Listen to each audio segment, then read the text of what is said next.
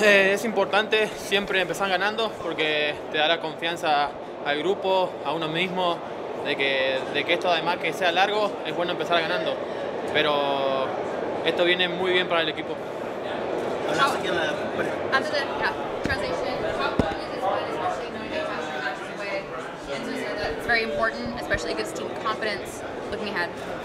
Hablaste un poco de este, tu conexión con los jugadores en el preseason.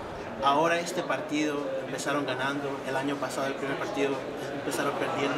¿Qué sensaciones hay diferentes hoy específicamente? Yo creo que la conexión, eh, la que no hubo el año pasado, es porque, por ejemplo, en mi caso yo llegué tarde a la pretemporada, eh, muchos jugadores se sumaron, creo que, que ahí estuvo el, el gran problema también. Eh, en esta precisión estuvo todos los jugadores completos, eh, jugamos en conjunto, el, el técnico rotó mucho, eh, probó y todos nos fuimos conociendo así y creo que se, se dio demostrado adentro de la cancha. So, question was your connection with the teammates this year. You talk about it, um, especially starting out with a win this season compared to last season. Like, what does this mean with your teammates? And he said, well, last season it was difficult because he came in later, and this season, with the start of preseason and how you were able to form the connections, it really made an impact onto the, the match day.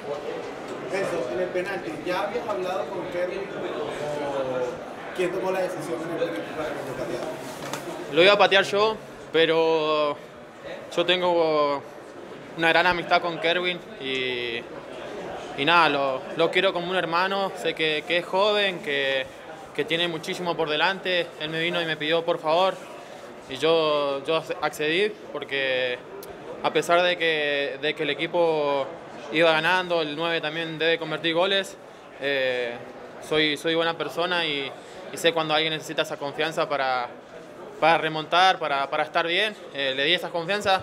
eh, por mi experiencia también sé que la clase, esta clase de jóvenes necesitan convertir para que estén bien.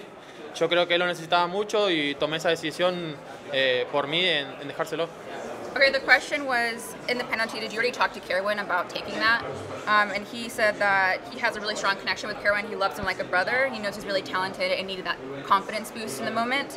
And he has a bright bright future, and so in that moment, he felt like he needed to give it to him. Um, and that's what. Did you say anything to him after? After? ¿Dijiste algo después del Sí, yo hablé con él, le dije que no, pasa, no pasaba nada. Yo también he, he errado penales importantes. eh, que bueno, que el equipo había ganado igual. Tuvimos en muchas ocasiones, se dio muy reflejado dentro del campo de juego, pero le dije que no pasaba nada, que el siguiente partido convirtiera un gol y esto se olvidaba.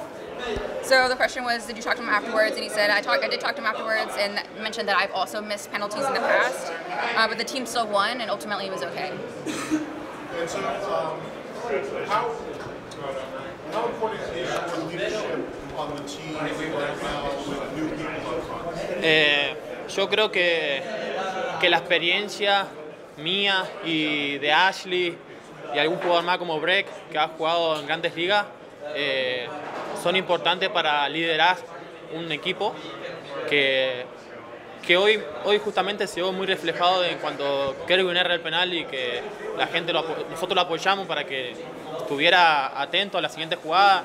Después le quedó una, no pudo convertir, pero estamos nosotros para con, nosotros con experiencia para, para en esas situaciones eh, el jugador esté bien y que no esté mal. Okay, that was the last question, but his answer was leadership from people like Ashley and himself and Breck are really important, and it reflected in the Kerwin situation, uh, and where you can go and help, help and use that experience in their own experiences to help grow other teammates. Yeah. Yeah, Muchas gracias.